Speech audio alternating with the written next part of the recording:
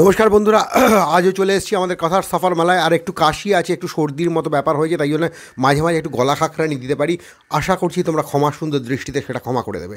আর প্রথমেই বলি যে এখন এটা সেই কথাটা খুব মনে পড়তো যে, খাবে কি পাগলা ঝাঁজে মরে যাবে। এই মুহূর্তে জিএসটির ভাবে প্যাকেটজাত পণ্যের ওপর প্যাকেটজাত চাল, তারপর তোমার আটা, তারপর তোমার পনির দই এইসব পণ্যের ওপর যেভাবে পাঁচ শতাংশ হারে জিএসটি বাড়ানো হয়েছে, তখন মনে হচ্ছে সত্যি খাব কি ঝাঁজে মরে যাব।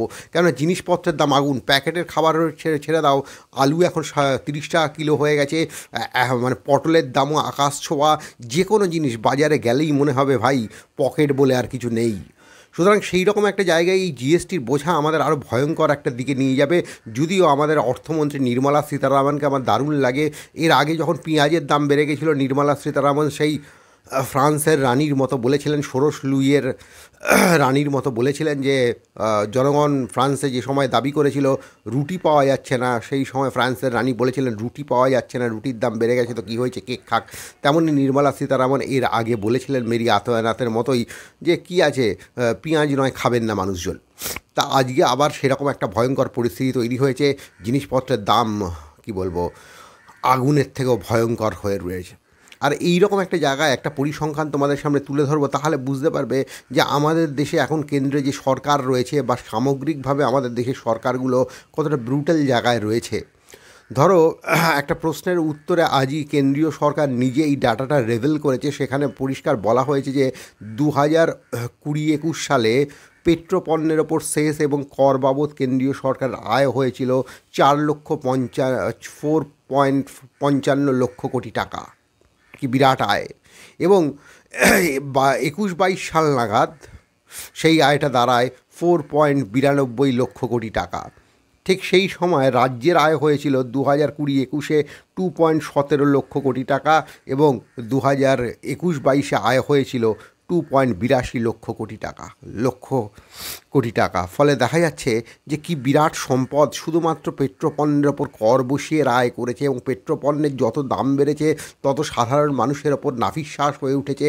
যে লোকটা আট হাজার টাকা ইনকাম করে, তার জীবনটা একেবারে কেরোসিনে পুড়ে মানে কেরোসিন দিয়ে পুড়িয়ে দেওয়া হয়েছে। কেননা মানে যেভাবে জিনিসপত্রের দাম বেড়েছে, যেভাবে তার ট্রান্সপোর্টেশন খরচ বেড়েছে, সেখানে দাঁড়িয়ে তার কাছে কোনো নতুন সত্য আর থাকতে পারে না। সে এরকম একটা জায়গায় যে এই যে এত বিপুল টাকা কেন্দ্রীয় সরকার এবং রাজ্য সরকারগুলো আয় করল, তাদের একটা বড় অংশ কি তারা জনগণের উন্নয়নের কাজে লাগাতে পারতো না? এখানেই প্রশ্নটা থেকে যাচ্ছে, আর এখানেই এসে যাচ্ছে ব্রুটালিটির জায়গাটা। এর আগেও এক একবার বলেছিলাম যে, আমাদের দেশে সরকারগুলো এখন অ্যাকাউন্টেন্ট হয়ে উঠছে, কিন্তু এটা আর অ্যাকাউন্টেন্টের জায়গায় আটকে নেই। আমাদের দেশের সরকারগুলো এখন কর্পোরেট সংস্থায় পরিণত হচ্ছে। এবং এ পথ কেন্দ্রীয় সরকার তীব্রতার সাথে দেখাচ্ছে, চার লক্ষ বিরানব্বই হাজার কোটি টাকা তার আয় হচ্ছে শুধু পেট্রোপণ্যে পেট্রোপণ্যের ওপর আগুন জ্বালিয়ে মানে পেট্রোপণ্যের ওপর দেশলাই মেরে, আমি দেশলাই মারা শব্দটা এখানে ব্যবহার করছি, অর্থাৎ বিভিন্ন ট্যাক্স এবং সেস বসিয়ে তার চার লক্ষ বিরানব্বই হাজার কোটি টাকা আয় হচ্ছে এবং সেই টাকার কটা অংশ জনগণ পাচ্ছে। এরকম একটা পরিস্থিতিতে কিন্তু জিএসটিকে হু হু করে লাগু করে দেওয়া হচ্ছে। প্যাকেটজাত পণ্যের ওপর জিএসটি লাগু হয়ে গেছে এবং অনেকে বলছেন যে হাসপাতালের বেডের ওপরেও জিএসটি লাগু হয়ে গেছে, পাঁচ হাজার টাকার ওপরে যে সমস্তকে বেড ভাড়া রয়েছে এখন প্রায় হাসপাতালেই মানে বিভিন্ন বেসরকারি হাসপাতালে গেলে তুমি এটা দেখতেই পাবে যে চিকিৎসার খরচ এখন আসমানের থেকেও বড় জায়গায় হয়ে গেছে। মানে চিকিৎসার খরচ জোগাতে গিয়ে মানুষ মরে যেতে পারে। এরকম একটা জায়গায় হয়ে গেছে। সেখানে পাঁচ হাজার টাকার ওপর যে সমস্ত হাসপাতালে বেড ভাড়া রয়েছে, সেখানেও জিএসটি লাগু করা হয়েছে। তাহলে কোন দেশ কী অর্থনীতি? আর এই কোন দেশ কী অর্থনীতি নিয়ে যখন কথা বলছি, তখনই দেখছি অদ্ভুতভাবে একটা অন্য সিন্সটার ডিজাইনও চলে আসে। সেই সিন্সটার ডিজাইনের নাম হচ্ছে বিরোধীদের ওপর ক্রমশ আক্রমণকে কেন্দ্রভূত করা। আমি এর আগের একটা অনুষ্ঠানে বলেছিলাম, দেখলাম অনেকে গালাগালি করেছিল, তবু বলেছিলাম যে ভারতবর্ষের অর্থনীতি যেভাবে ঝাঁঝরা হয়ে যাচ্ছে, সেই জায়গা থেকে ভারত কি শ্রীলঙ্কার পথে হাঁটবে? এ কথা শুনে অনেকে অনেক কথা বলেছিলেন এবং কে সর্বদল বৈঠকেও কিন্তু এই আশঙ্কাই প্রকাশ করা হয়েছে এবং সেই আশঙ্কা প্রকাশ করতে গিয়ে কেন্দ্রীয় সরকার একটা অদ্ভুত রাজনীতি বিজেপি করেছে।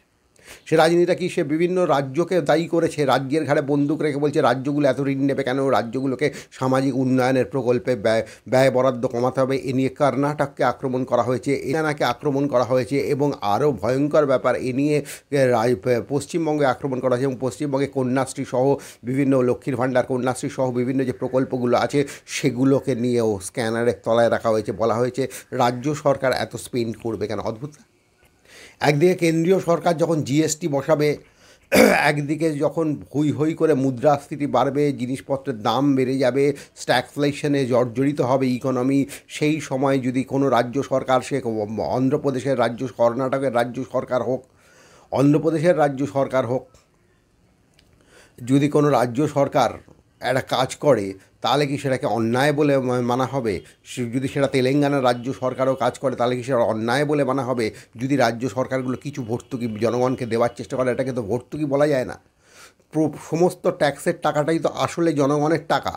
অন্ধ্রপ্রদেশের ওয়াইএস রাজশেখর রেড্ডির যে সরকার আছে, সেই সরকার যদি আজকে জনগণের কোনো উপকারে কিছু ব্যয় বরাদ্দ করে সেতে জনগণের কত উপকার হয়? সেটা পরের প্রশ্ন। দারিদ্র কমে কি কমে না, সেটা পরের প্রশ্ন। যদি কোনো ব্যয় বরাদ্দ করে, সেটা কি অপরাধ হতে পারে? তৃণমূল সরকার যদি এখানে সেই ব্যয় বরাদ্দ করে, সেটা কি অপরাধ হতে পারে? আর, এই রকম একটা অদ্ভুত রাজনীতি নিয়ে আসা হচ্ছে।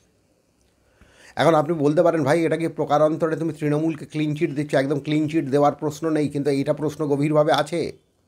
যে প্রশ্নটা হচ্ছে যে গোটা দেশ জুড়ে যদি আগুন জ্বলে, তার সেইখানে দাঁড়িয়ে শুধু বাংলায় কালী পুজো হচ্ছে কি হচ্ছে না, সেটা নিয়ে একটা একটা দলের সর্বোচ্চ নেতা যদি প্রশ্নটা করেন, তখন কি আমাদের মনেও প্রশ্ন আসে না? যে খামোখা একটা রাজনীতি করা হচ্ছে, যে রাজনীতিটা আজকে দরকার নেই, যেখানে জিএসটি হই হই করে বাড়ছে, যেখানে জিনিসপত্রের দাম হই হই করে বাড়ছে, সেখানে কালী বিতর্ক, বাংলার যে কোনো পাড়ায় যদি কেউ আসে কালী পুজোর সময়, তিনি দেখতে পাবেন যে বাংলায় কিন্তু কালী থেকে সরস্বতী, দুর্গা, সমস্ত পুজোই কিন্তু যথেষ্ট সাড়ম্বরে করা হয়। তাহলে হঠাৎ কালী পুজোর বিষয়টাকে রাজনীতির ময়দানে নিয়ে আসা হচ্ছে কেন? তা বলে আমি একবারও বলছি না যে তৃণমূল খুব ভালো কাজ করেছে এবং এই বিষয়টাকে নিয়ে যেটা দেখছি, বিজেপির স্ট্র্যাটেজি রয়েছে, পুরো গোটা বাদল অধিবেশন জুড়ে বিজেপি চাইছে বাংলায় বাংলায় কালী পুজোর ব্যাপারটাকে তুলে ধরে হই হই করে যাতে করে আমাদের নজরটা ডিএসটি এবং অন্যান্য জায়গা থেকে সরিয়ে দেওয়া যায়। তাহলে বিষয়টা আর শুধু বাংলার বিষয় নয়, বিষয়টা আজ শুধু তৃণমূলের বিষয় না বিষয়টা হচ্ছে কেন্দ্রীয় সরকারের যে ভয়ঙ্কর গ্র্যান্ড অর্থনৈতিক ডিজাইন যে ডিজাইনটা মানুষকে ক্রমশ ফাঁসির দড়িতে ঝুলিয়ে দিচ্ছে, সেই ডিজাইনটার বিরুদ্ধে আজকে কিন্তু আমাদের লড়তে হবে। এবং সেই ডিজাইনটার বিরুদ্ধে যাতে করে আমরা লড়তে না পারি, সেই জন্য বাংলার ইস্যুটাকে তুলে ধরা হবে। এ নিয়ে সিপিএমের সুজন চক্রবর্তীও খুব ভালো বলেছিলেন। তিনি কি তিনি কি বাংলার সরকারের সমর্থক? তা না। তিনি প্রশ্নটা রেখেছিলেন এই জায়গা থেকে যে গোটা দেশ জুড়েই যখন প্রবলত, প্রবলতম অশান্তি রয়েছে, গোটা দেশ জুড়েই যখন নানা হাহাকার রয়েছে, সেই জায়গায় কেন? কেন শুধু বাংলার ব্যাপারটাকে তুলে ধরা হচ্ছে? কেন গুজরাতের ব্যাপারটাকে তুলে ধরা হচ্ছে না? কেন উত্তরপ্রদেশের ব্যাপারটাকে তুলে ধরা হচ্ছে না? বাংলাই শুধুমাত্র আলোচনার মূল কেন্দ্রে কেন? পাত্র আলোচনার মূল অ্যাট্রাকশন হয়ে যাচ্ছে কেন? এই প্রশ্নটা সুজন চক্রবর্তী তুলেছিলেন। আর এই প্রশ্নগুলো নিয়ে যখন আমরা হাঁটি, তখন আরেকটা বিষয় আমাদের মাথায় এসে যায়, সেটা হচ্ছে, দেখবেন কালকেই একটা বিখ্যাত সংবাদপত্রে কৌশিক বসু বিশিষ্ট অর্থনীতিবিদ একটা কথা বলেছিলেন। বলেছিলেন যে, পঁচিশ শতাংশ পঁচিশ শতাংশ হারে বেকারত্ব এই মুহূর্তে ভারতে রয়েছে, যেটা কিনা মানে এশিয়ার অনেক দেশকে পেছনে ফেলে দিয়েছে ভারত। এবং এই বিপুল বেকারত্ব মুদ্রা এর পরে জিনিসপত্রের দাম বৃদ্ধির পরে এই বিপুল বেকারত্ব নিয়ে সরকারের কিন্তু কোনো কংক্রিট প্ল্যানিং তিনি খুঁজে পাননি একথাও কৌশিক বসু বলেছিলেন। তার মানে বেকারত্ব, মুদ্রাস্ফীতি এগুলো কোনো বিষয় নয়, এগুলো নিয়ে আলোচনা হবে না, আলোচনা হবে কি কালি বিতর্ক নিয়ে, আর আজকে আমাদের কাছে ভয়ের বিষয়টা সেটা। অন্যদিকে তৃণমূলের রাজনীতিতেও আমরা যেটা যেটা দেখেছি সেটা হচ্ছে রাজ্যে যে ধরনের উন্নয়নের স্কিমগুলোকে তৃণমূলের আরও বেশি করে নিয়ে আসা উচিত ছিল শুধু লক্ষ্মীর ভাণ্ডার বলে ব্যাপার না। ব্যাপারটা হচ্ছে পারচেস পাওয়ারের ডেভেলপমেন্ট সেই পারচেস পাওয়ারের ডেভেলপমেন্টটা ভীষণভাবে আটকে গেছে। আজকে শ্রীলঙ্কার বিষয় উদাহরণটা তোলা হচ্ছে। একটা সময় কিন্তু শ্রীলঙ্কা একটা রোল মডেল ছিল। আজকে আপনারা যদি খুব ভালো করে দেখেন যে শ্রীলঙ্কাকে একটা সময় কিন্তু রোল মডেল হিসেবে ধরা হতো। বিশেষ করে শ্রীলঙ্কা থেকেই কিন্তু মিড ডে মিল সহ নানা প্রকল্প শ্রীলঙ্কা ভারতের আগে তো লাগু করেছিল। ফলে শ্রীলঙ্কার ইকোনমিক্সকে এক সময় কিন্তু একটা জনকল্যাণমূলক ইকোনমিক্সের অন্যতম সফল এক্সপেরিমেন্ট হিসেবে ধরা হতো। তাহলে কবে থেকে শ্রীলঙ্কার অবস্থাটা ভয়ঙ্করভাবে চলে গেল? ভয়ঙ্করত্বের দিকে চলে গেল। জবে থেকে মহেন্দ্র রাজাপক্ষে সেই ভয়ঙ্কর খেলাটা শুরু করে দিলেন। সেই খেলাটা কি তিনি হঠাৎ করে এলটিটিকে দমনের নামে ভয়ঙ্কর সামরিক অভিযান করলেন এবং গোটা শ্রীলঙ্কা জুড়ে একটা তীব্র দক্ষিণপন্থার জায়গা তৈরি হলো, লক্ষ লক্ষ তামিল মারা গেল, হিন্দু মারা গেলেন। এরপর গোটা শ্রীলঙ্কা জুড়ে একটা অদ্ভুত দক্ষিণপন্থী কুদেতা হলো, সেই কুদেতার জায়গা থেকে গোতাবয় রাজপক্ষেরা এলো। আজকে দেখবেন শ্রীলঙ্কার মধ্যে একটা চীন বিরোধী ক্ষোভও আছে, যে ভয়ঙ্করভাবে ঋণ চীন দিয়েছিল।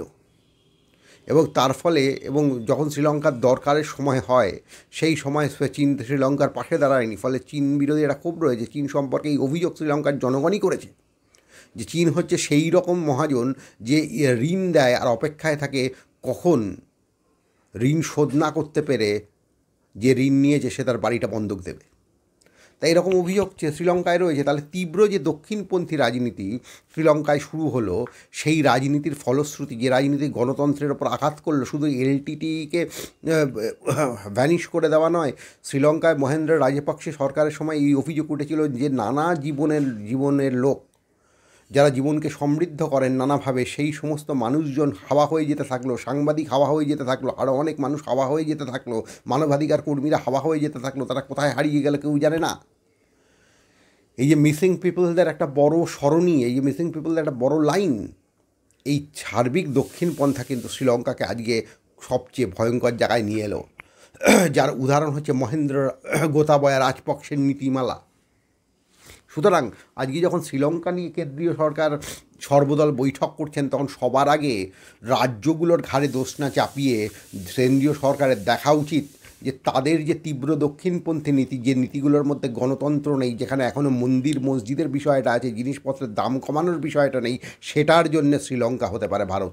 কোনো বিরোধী রাজ্য সরকার জনগণের জন্য কিছু স্পেন্ড করেছে, সেটার জন্য কখনোই শ্রীলঙ্কা হবে এবার এখানেও অদ্ভুত খেলা আছে। যদিও কেন্দ্রীয় সরকারের তরফ থেকে বারবার বলা হচ্ছে, রাজ্যগুলোর ঘাড়ে দোষ চাপানোর পরেও যে শ্রীলঙ্কা, ভারত হবে না। তাহলে রাজ্যগুলোর চেয়ে ঘাড়ে তুমি দোষ চাপাচ্ছ কেন? যদি শ্রীলঙ্কা, ভারত হবেই না তুমি জেনে থাকো, তাহলে তুমি এটা নিয়ে আলোচনাই বা করছ কেন? রাজ্যগুলোর ঘাড়েই বা দোষ চাপাচ্ছ কেন? এটা একটা প্রশ্ন আসে না। এবার আপনি বলুন, সতর্কতার প্রশ্ন। সতর্কতার প্রশ্ন হলে তো আগে কেন্দ্রকে নিজের দিকে আঙুল তো দেখাতে, আঙুল তুলতে হবে যে মহেন্দ্র রাজাপক্ষের কী কী নীতির কারণে শ্রীলঙ্কা আজকে এই জায়গায় এসছে মহেন্দ্র রাজাপক্ষ থেকে গোতাবায়া রাজাপক্ষ কী কী নীতির কারণে শ্রীলঙ্কা আজকে এই জায়গায় এসেছিল? সেই নীতিমালার মধ্যে একটা ভয়ঙ্কর জায়গা হচ্ছে যুদ্ধ উন্মাদনা, উগ্র জাতীয়তাবাদ দেশে গণতন্ত্রের গয়ের না থাকা। সেই কারণেই শ্রীলঙ্কার মতো স্টেট একটা ভয়ঙ্কর ধ্বংসস্তূপের জায়গায় চলে যায়। অথচ একসময় শ্রীলঙ্কা ছিল জনকল্যাণমূলক ইকোনমিক্সের একটা উদাহরণের জায়গা অমূর্ত সেনের মতো পণ্ডিত শ্রীলঙ্কার উদাহরণ টেনে দেখিয়েছিলেন যে, ভারত যেসব জায়গায় ব্যর্থ হয়েছে দারিদ্র দূরীকরণে, সেখানে কিন্তু শ্রীলঙ্কার একটা বিরাট সাফল্য। অমূর্ত সেনের মতো ইকোনমিক্স ইকোনমিক্স দেখিয়েছেন, দার্শনিকরা দেখিয়েছেন। ফলে আজকে এখানেই শেষ করছি। আমাদের অনুষ্ঠান, আপনাদের কেমন লাগছে সেটা জানাবেন। এবং তার সাথে সাথে আরেকটা কথাও বলছি, যে কথাটা আগেই বলা উচিত ছিল, যে ওয়্যারের মতো বিকল্প মিডিয়া যখন বলতে পারে যে তাদের জার্নালিজমকে, তারা তো সবটা কর্পোরেটের ওপর সবটা নির্ভরশীল নন, যে তাদের জার্নালিজমকে এগিয়ে নিয়ে যাওয়ার জন্যে, মানুষের জার্নালিজমকে এগিয়ে নিয়ে যাওয়ার জন্য তাদের চ্যানেলকে সাপোর্ট করার কথা, তাহলে আমরাও আজ থেকে বলছি যে আমাদের সাংবাদিকতাকে এগিয়ে নিয়ে যাওয়ার জন্যে, আমাদের জীবনবোধকে এগিয়ে নিয়ে যাওয়ার জন্যে, তোমার আমার কান্নার ভাষাকে এগিয়ে নিয়ে যাওয়ার জন্যে আজকে কথামুখের মতো, শুধু কথামুখ নয় কথামুখের মতো চ্যানেলগুলোর পাশে দাঁড়াও। আমরা বিনম্রতার সাথে আমাদের গুগল পে লিঙ্ক আপনাদের দিয়ে দেবো। যার যা মনে হয় সহযোগিতা করবেন, যদি মনে হয়, যদি মনে হয় তবেই করবেন না হলে করার দরকার নেই। যদি মনে হয় আমরা যে কথাগুলো বলছি, সে কথার মধ্যে সত্য আছে, সে কথার মধ্যে বিকল্প মনন আছে, তবেই করবেন। এই বলে শেষ করছি আমাদের অনুষ্ঠান। আপনারা সবাই খুব খুব খুব ভালো থাকবেন। জয় গুরু এনজয় গুরু আল্লাহ হাফিজ।